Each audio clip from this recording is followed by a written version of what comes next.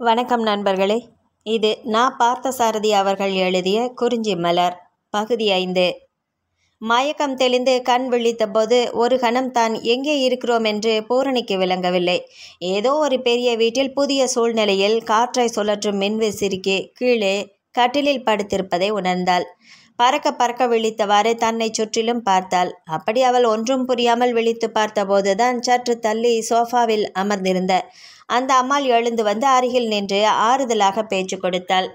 புதிய இடமாய் இருக்கிறது என்று கூச்சப்படாதே அம்மா. இதை உன் சொந்த வீடு மாதிரி நினைத்துக்கொள்.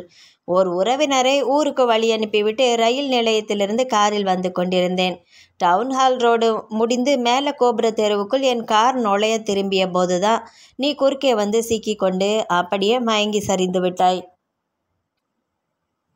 உன்னை என் காரிலேயே எங்கள் வீட்டுக்கு கொண்டு வந்துவிட்டேன் இப்போது நீ எங்கள் வீட்டில் இருக்கிறாய். கீழே விழுந்ததற்கு அதிகமாக ஆண்டவன் புண்ணியத்தில் உனக்கு வேற எந்த விபத்தும் ஏற்படவில்லை. கவலைப்படவோ பயப்படவோ வேண்டாம் தெருவில் வந்து கொண்டிருந்த போது தனக்கு நேர்ந்ததை பற்றி அந்த அம்மா கூறியதை கேட்க வெக்கமாக இருந்தது பூரணிக்கு.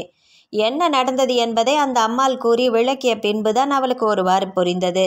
நான் தழுதழுக்க அந்த அம்மாளுக்கு நன்றி சொல்ல தொடங்கினாள். உங்களுக்கு எப்படி எந்த வார்த்தைகளால் நன்றி சொல்லப் போகிறேன்னு தெரியல. தாயை போல வந்து என்னை காப்பாற்றி இங்கே கொண்டு வந்திருக்கிறீர்கள். நன்றி இருக்கட்டும். காரும் வண்டியும் கூட்டமுமா ஒரே நெருக்கடியாக இருக்கிற நார்ச்சந்தியில் அப்படித்தான் பராக்கு பார்த்து கொண்டு நடப்பதா பெண்ணு? நல்ல வேலையும் நல்ல வினையும் தான் ஓம் பக்கம் இருந்து காப்பாற்றி இருக்கிறது. மயிரொலையில் தப்பி பிழைத்திருக்கிறாய். இந்த விபத்தில் தப்பிவிட்டேன். நீங்கள் காப்பாற்றி விட்டீர்கள். இதைவிட பெரிய விபத்து ஒன்று இருக்கிறது. ஒவ்வொருவரும் விரும்பியோ விரும்பாமலோ அடைகிற விபத்து அது. என்ன சொல்கிறாய்? எதை பற்றி சொல்கிறாய்?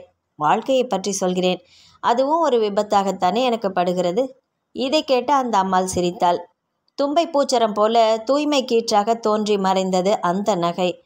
ஒழுங்காக அமைந்த வெண் பல்வரிசை அந்த அம்மாளுக்கு. இந்த வயதில் இப்படி நூற்று கிழவி போல எங்கே பேச கற்றுக்கொண்டாய் நீ?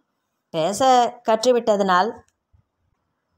என்ன இருக்கிறது? அறிவுக்கு கற்றவட்டை கொண்டு வாழ்வுக்கு முயல முடிவதில்லை. வாழ்க்கை படிப்பே தனியாக இருக்கிறது.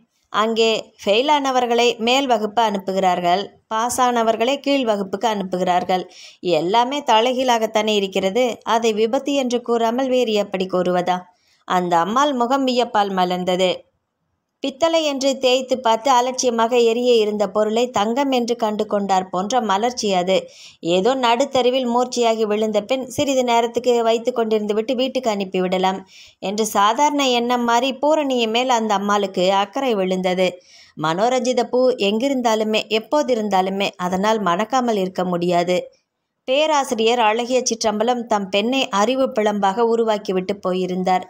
அவள் எங்கே போனாலும் பேசினாலும் யாரிடம் பேசினாலும் எப்போது பேசினாலும் மனோரஞ்சித மனம் போல சொற்களில் கருத்து மனம் மணக்கிறது. அந்த மனத்தை நீக்கி பேச அவளாலேயே முடியாது. நிறைய படித்திருக்கிறாய் போல் இருக்கிறதே உன்னை பற்றி எனக்கு கொஞ்சம் சொல்லம்மா. பட்டு கத்தரிப்பது போல அழகாகவும் அளவாகவும் பேசுகிறாய் நீ. தன்னை பற்றி அந்த அம்மாளிடம் சொல்லி அறிமுகப்படுத்தி கொள்ள வேண்டியது அவசியம்தானா? என்ற தயக்கத்துடன் அந்த தாய்மை கணிந்த முகத்தை நிமிர்ந்து பார்த்தாள் பூரணி. காலையில் குளிக்கும் பொழுது மனம் குமரி அழுத சமயத்தில் நினைவு வந்ததே தாயின் முகம். அது மறுபடியும் அவளுக்கு நினைவு வந்தது. அதிக முதுமை என்றும் சொல்வதற்கில்லை அதிக இளமை என்றும் சொல்வதற்கில்லை. நடுத்தர வயதுக்கு சிறிய அதிகமான வயதுடையவளாக தோன்றியது. அந்த அம்மாவின் முகத்தில் ஒரு சாந்தி இருந்தது. பூரணி தன் மனத்தை மெல்ல நெகிழச் செய்யும் ஏதோ ஒரு உணர்வை எதிரே இருந்த முகத்தில் கண்டாள். நான் உன்னை பற்றி கேட்பது தவறானால் மன்னித்துவிடு. விருப்பமிருந்தால் என்னிடம் சொல்வதில் தவறில்லை. நிறைய விரக்தி கொண்டவள் மாதிரி வாழ்க்கையே விபத்து என்று கூறினாயே அதிலிருந்தும் உன்னை காப்பாற்ற முடியுமா என்று அறிவதற்காகத்தான் இதை விசாரிக்கிறேன். பூரணி சுருக்கமாக தன்னை பற்றி சொன்னாள். குடும்பத்தின் பெருமைகளை சொல்லி பீற்றிக்கொள்ளவும் இல்லை குறைகளை சொல்லி அளவும் இல்லை. சொல்ல வேண்டியதை அளவாக சொல்லி தன்னை அறிமுகப்படுத்தி கொண்டாள். உன் தந்தையாரை பற்றி நான் நிறைய கேள்விப்பட்டிருக்கிறேன் அம்மா. அவருடைய புத்தகங்கள் கூட இரண்டொன்று படித்திருக்கிறேன். எனக்கு சொந்த ஊர் மதுரை தான் நீண்ட காலமாக கடலுக்கு அப்பால் இலங்கையில் இருந்துவிட்டு இப்போதுதான் ஊரோடு வந்து விட்டோம் எங்களுக்கு அங்கே நிறைய தேயிலை தோட்டங்கள் இருந்தன. என் கணவர் காலமான பின் என்னால் ஒன்றும் கட்டி காத்து ஆள முடியவில்லை. எல்லாவற்றையுமே விற்றுக்கொண்டு ஊரோடு வீட்டோடு வந்தாயிற்று. எனக்கு இரண்டு பெண்கள். ஒருத்தி பள்ளிக்கூடத்தில் எட்டாவது படிக்கிறாள். மூத்தவள் கல்லூரியில் படிக்கிறாள். ஏதோ கடவுள் புண்ணியத்தில் நடந்து கொண்டிருக்கிறது. உங்கள் பெயரை நான் தெரிந்து கொள்ளலாமா அம்மா?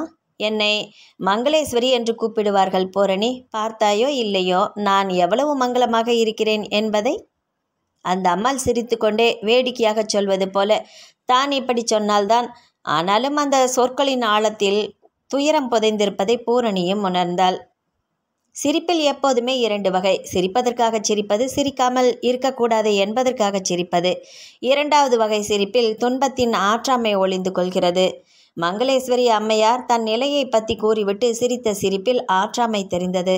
வாழ்க்கை ஒரு விபத்து என்றுதான் கூறியபோது அந்த அம்மாளின் வதனத்தில் மலர்ந்த தூய நகையையும் இந்த துயர நகையையும் மனதுக்குள் ஒப்பிட்டு சிந்தித்தாள் பூரணி.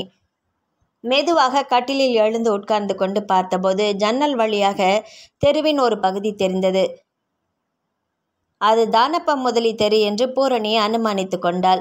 தன் அனுமானத்தை உறுதிப்படுத்தி கொள்வதற்காக இது தானப்ப முதலி தெருதானே என்று அம்மாளை கேட்டாள். ஆமாம் என்று பதில் வந்தது. பார்க்கும்போது செல்வச் செழிப்பை காட்டும் பெரிய வீடாகத்தான் தோன்றியது. பளிங்கு கற்கள் பதித்த தரை. சுவர் நிறைய பெரிய பெரிய படங்கள். திரும்பின பக்கமெல்லாம் ஆள் உயரத்துக்கு நிலை கண்ணாடிகள். பட்டு உரை போர்த்திய பாங்கான சோஃபாக்கள். விதவிதமான மேஜைகள். வீட்டில் செல்வச் செழுமை தெரிந்தது. வீட்டுக்குரியவளிடம் அன்பின் எளிமை தெரிந்தது. தரையிலும் சுவரிலும் செல்வம் மின்னியது. தாய்மை மின்னியது. அடங்கி ஒடுங்கி அமைந்த பண்பு மின்னியது. ஓடியாடி திரிந்த உலக வாழ்வு இவ்வளவுதான் என்று வாழ்ந்து மறந்த அசதி தெரிந்தது. வாழ்வு முடித்த அலுப்பு தெரிந்தது. குழந்தையின் சுட்டு விரலில் பாலை தோய்த்து கோடு இழுத்த மாதிரி நெற்றியில் வரி வரியாக திருநீறு துளங்க மலர்ந்த நெற்றியோடு மங்களேஸ்வரி அம்மையார் பூரணியின் அருகில் வந்து நின்றாள். என்னம்மா இப்படி பார்க்குற நான் வரும்போது பாழடைந்த அரண்மனை மாதிரி உப்பு படிந்த சுவரும் பெருச்சாலை பொந்துகள் மயமான தரையுமாக இருந்தது இந்த வீடு. மூத்த பெண்ணுக்கு ஆடம்பரத்தில் அதிக பற்று. மூன்று மாதத்தில் பணத்தை வாரி இறைத்து இப்படி மாற்றியிருக்கிறாள். எனக்கு இதெல்லாம் அழுத்து விட்டது அம்மா. ஏதோ செல்லமாக வளர்ந்து விட்ட குழந்தைகள். சொன்னால் தட்ட முடியாமல் போகிறது. உங்க மூத்த பெண் எந்த கல்லூரியில் படிக்கிறாள்? அமெரிக்கன் கல்லூரியில் சேர்த்திருக்கிறேன். இந்த ஊரில் இது ஒரு வசதி குறைவு பொருணி. கல்லூரிகள் எல்லாமே நகரின் நான்கு புறமும் தனித்தனியே சிதறி இருக்கின்றது காலையில் தல்லாக்குளம் போனால் ஐந்து மணிக்கு வீடு திரும்புகிறாள். கார் இருக்கிறது. டிரைவர் இருக்கிறான். இந்த பெரிய வண்டியில் போய் வர வெட்கமாக இருக்கிறதா அவளுக்கு. சிறியதாக ஒரு புது கார் வாங்கி தர வேண்டுமா? போய் வந்து கொண்டிருக்கிறாள். சிறிய காருக்கு சொல்லியிருக்கிறேன். பணத்தை கொடுக்கிறேன் என்றால் கார் சுலபத்திலா கிடைக்கிறது. இந்த ஊரில் இரண்டு பெண்கள் கல்லூரிகள் இருக்கும்போது எப்படி ஆண்கள் கல்லூரியில் சேர்க்க மனம் வந்தது உங்களுக்கு? இந்த கேள்வியை துணிந்து கேட்டுவிட்ட பின் அந்த அம்மா முகத்தை பார்த்தபோது கேட்காமல் இருந்திருக்கலாமோ? என்று பட்டது பூரணிக்கு. இந்த விஷயத்தில் நான் கொஞ்சம் முற்போக்கான கருத்துடையவள் பூரணி பெண்கள் வாழ்க்கை முழுவதும் ஒரே வட்டத்தில் பழக வேண்டியிருக்கிறது. திருமணமாகும் முன்னும் சரி திருமணமான பின்னும் சரி மாறுபட்ட சூழ்நிலையில் பழக வாய்ப்பே இல்லை அவர்களுக்கு. படிக்கிற காலத்திலாவது அந்த சூழ்நிலை அவர்களுக்கு கிடைத்தால் பிற்கால வாழ்வுக்கு நல்லதென்று நினைக்கிறேன் பூரணி மெல்லச் சிரித்தாள். பிறரோடு கருத்து மாறுபடும்போது முகம் சிவந்து கடுகடுப்போடு தோன்றும் பெரும்பாலோருக்கு ஆனால் பூரணியின் வழக்கமே தனி. தனக்கு மாறுபாடுள்ள கருத்து காதில் விழும்போது அவள் மாதுளை செவ்வுதல்களில் புன்னகை ஓடி மறையும். அப்பாவிடமிருந்து அவளுக்கு கிடைத்த பயிற்சி அது. பூரணியின் புன்னகையை மங்களேஸ்வரி அம்மாள் பார்த்துவிட்டாள் வட்டத்திற்கு மூளைகள் இல்லை என்பதுதானே கணிதம்? பெண் மாறுபட்ட சூழ்நிலையில் பழகினாலும் பெண் தானே. பெண்மையின் வாழ்க்கை ஒழுங்குகளே தனி. அவை வட்டத்தைப் போல் அழகானவை. சதுரமாகவும் இருக்க வேண்டுமென்று நாமாக நினைப்பதுதான் பெரும் தவறு. வாழ்க்கை சதுரப்பாடுதான் அதிகம் வேண்டியிருக்கிறது. சற்று முன் நீ கூட இதே கருத்தை தானே வேறொரு விதத்தில் சொன்னாய் பூரணி. வட்டத்தில் ஒழுங்கு உண்டு வழி தவற வாய்ப்பில்லை. சதுரத்தில் சாமர்த்தியம் உண்டு தவறவும் இடம் உண்டு. பெண்ணின் வாழ்க்கை ஒரே வட்டத்தில் இருப்பதில் தவறு இல்லை என்பது என் தந்தையின் கருத்து. மங்களேஸ்வரி அம்மாவின் வியப்பு மேலும் அதிகமாயிற்று. பின் குஷனில் ஊசி இருக்கிற மாதிரி இந்த வயதில் இந்த பெண்ணால் நறுக்கு நறுக்கென்று எவ்வளவு கச்சிதமாக பதில் சொல்ல முடிகிறது? தீபத்தில் எப்போதாவது சுடர் தெரிந்து ஒளி குதிக்கிறது போல கருத்துக்களை சொல்லும்போது இந்த பெண்ணின் முகத்திலும் விழிகளிலும் இப்படி ஓர் ஒளியின் துடிப்பு எங்கிருந்துதான் வந்து குதிக்கிறதோ என்று மனதில் நினைத்து கொண்டாள் அந்த அம்மாள். தன்னை அங்கேயே சாப்பிடச் சொல்லி அந்த அம்மாள் வற்புறுத்திய போது பூரணியால் மறுக்க முடியவில்லை. அந்த திருநீர் துளங்கும் முகத்துக்கு முன்னால் தெளிவு துளங்கும் வதனத்துக்கு முன்னால் பூரணியின் வரட்டுத்தன்மானம் தோற்றுத்தான் போய்விட்டது. தாய்க்கு முன் குழந்தை போல ஆகிவிட்டாள் அவள்.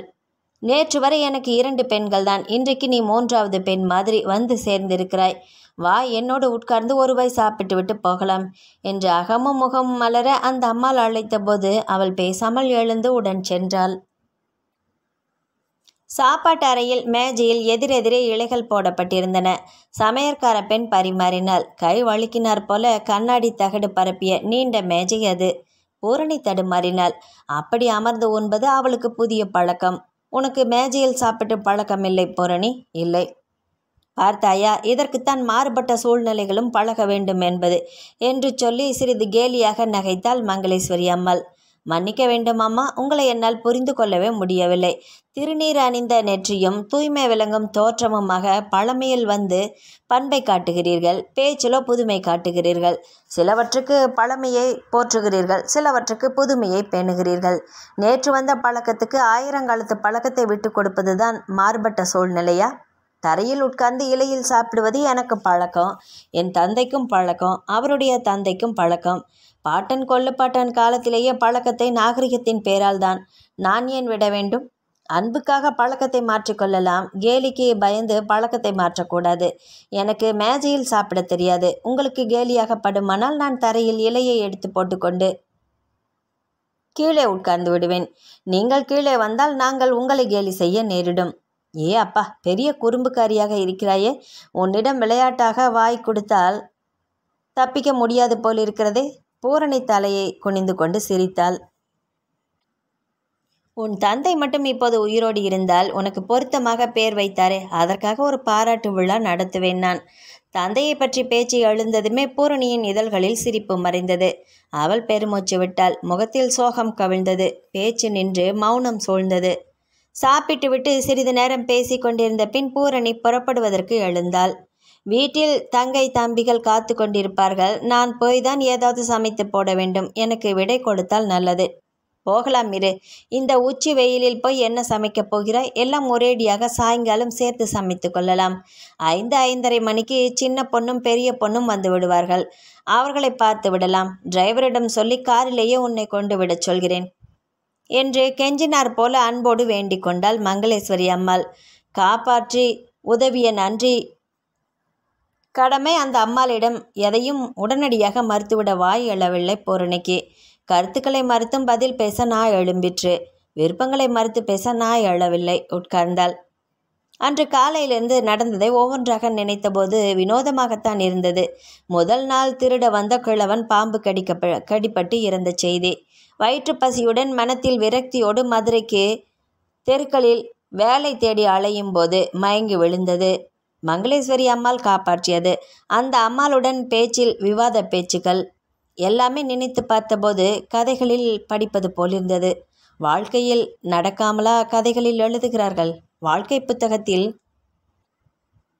ஒவ்வொரு பக்கமாக படிப்பது போல எதிர்பாராத புதிய புதிய நிகழ்ச்சி திருப்பங்களை நினைப்பதில் சுவை கண்டால் பூரணி. மங்களேஸ்வரி அம்மாள் பூரணிக்கு பொழுது போவதற்காக மாடிக்கெல்லாம் அழைத்து கொண்டு போய் வீட்டை சுற்றி காண்பித்தாள். லட்சங்களை லட்சியமில்லாமல் செலவழித்து வீட்டை அழகுபடுத்தி இருக்கிறார்கள் மாடி அறையில் பெரிய கடிகாரம் ஒன்று இருந்தது. இது மணி அடிக்கிற போது இன்னிசை குரல் எழுப்போம். இலங்கையிலிருந்து கொண்டு வந்தது கொஞ்சம் இரு நாலரையாக போகிறது. இப்போது ஒரு மணி அடிக்கும். நீ கேட்டால் மிகவும் ஆச்சரியப்படுவாய் என்று பூரணியை அந்த அழகிய பெரிய கடிகாரத்தின் முன் கையை பிடித்து நிறுத்தினாள் மங்களேஸ்வரி அம்மாள். பியானோ ஒளி போல நீட்டி முழக்கி இனிதாக ஒரு முறை ஒலித்தது கடிகாரம்.